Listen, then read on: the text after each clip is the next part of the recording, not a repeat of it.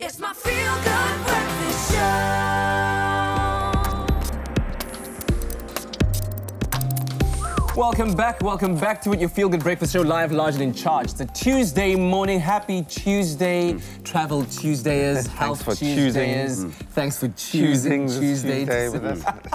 it's going to be a good one. Listen, uh, let's update you quickly on some of the latest stories we found uh, concerning technology. There's a new electric toothbrush out. Cool. Tooth toothbrush. It's the truth. It's telling the truth. That's been launched. It's cost it costs a whopping two hundred twenty dollars US. Sure, okay. Two What and a does it half- do? Two and a half grand. Yeah, no, more than plus. more like three and a half. Three Oh my word! So why it's so okay. expensive? Expensive. It uses A- expensive.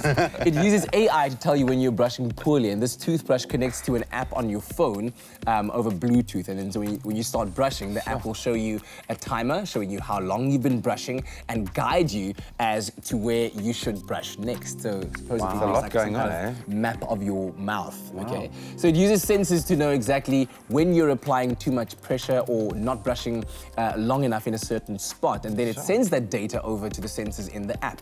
So then the app takes the sensor data and uses the Genius XAI algorithm to tell you where you then need to brush better and give a rating on how, or gives you a rating on how you've brushed. So Wow. that's that's crazy. Well, I mean, it makes That's sense. cool, man. You've That- gotta that the keep your teeth for life, yeah. justified. Then it makes it makes total sense. Really? But then, you, how often do you have to Really? change this toothbrush? Is the question. Uh, uh, yeah, I, I, look, I don't, I don't know if, if I'd like that feature on a toothbrush essentially because it's it's, it's supposed to be a two-minute process where Yeah, you must just try- just you know, try you're harder, 30 yeah. seconds, 30 Yeah. seconds, 30 seconds, 30 seconds. Oh, but look, I mean, that being said, your teeth are your, your one of your greatest investments. You know, True. you've got to keep them for a whole life. You want to look after and you're them. not going to get others. If these ones go bad, you must just know that's it. R.I.P. Apparently, also, this is not the company's first connected toothbrush. They released a Bluetooth-enabled toothbrush way back in 2014, which could be programmed with the help of a dentist. And then it launched its Genius line of toothbrushes in 2016. But then earlier models needed to use uh, your smartphone's camera to allow you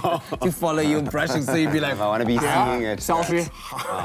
yeah. Look, it, it does feel like a lot of effort for, for brushing your teeth, like you say, for something that should be relatively simple. But hey, man, all, all for dental health. I suppose if it's for people who like who love to indulge in brushing their teeth and take their time and they enjoy that. So you're going to say you like to just rushing in the express morning, their wealth with But do you, do you I was brushes. need, thinking- but do you, even if you're an indulgent brusher, do you need an app to tell you that you're not brushing long enough in your back I, molars? I Really? think it's cool, man. Just all towards a smart home. Everything is smarter. See, These awesome. these guys are And definitely next, the Tesla. smart toilet paper.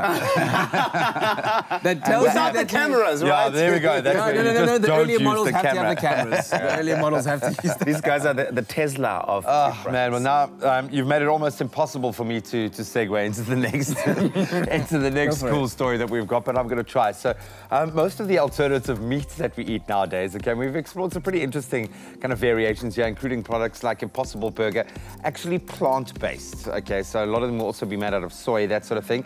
A number of startups are still working on ethical meat that's grown from actual animal cells, giving you a real burger without obviously the cruelty element or climate change issues. We know how much, um, you know, sort of just petrol, for instance, is being used transporting meat and grain. So um, they can be a little bit mushy because they lack the collagen that is present in real muscle tissue that gives meat its structure. So there's no uh, way to really create steaks, you know, which are quite fibrous. So now a Harvard University researcher, a group of them have found a way to simulate real meat by growing cow and rabbit muscle cells cells on a little mini scaffolding that they've created out of gelatin. So they create the little scaffolding, the network, and then they let the meat grow through that. So the scaffold is made from the collagen extracted from the skin, bones, and connective tissues of domesticated animals. And it's not only edible, but closely mimics the way in which collagen adds a succulent texture to meat when it's been cooked. But then you've got to let it rest. I cooked a steak last night. You've got to let it rest, and then it gets relaxed and chilled.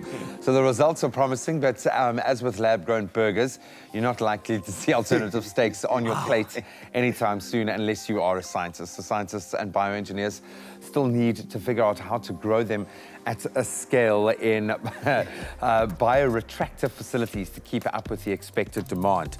So, I know, mean, there's a at the moment, they're making like miniature little steaks. There's a very simple solution to what these guys are doing. Um, and I don't know if they've tried it in their scientific research while they're trying What to. is it?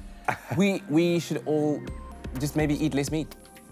Okay. Like in the I week. know. I like the chow idea of being able to order down. out. Like, I want Cut a down. three kilogram dinosaur steak and just being able to replicate that.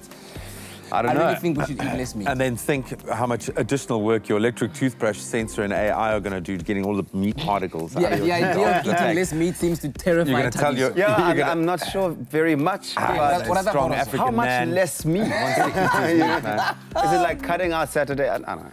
It, it does feel like a long way around. Dion Wired, where humans go for technology.